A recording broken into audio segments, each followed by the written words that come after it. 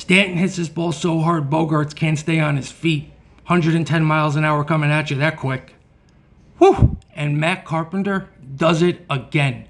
He's the best story of the Yankees this year. It's incredible. Carpenter hammers this one to right. Bradley goes back. He looks up. He's at the wall. It's over the wall. Cardinal fans have been saying it all year. You are going to love this guy. And guess what? I think we can say we love this guy by now. Maddie, baby. Wow.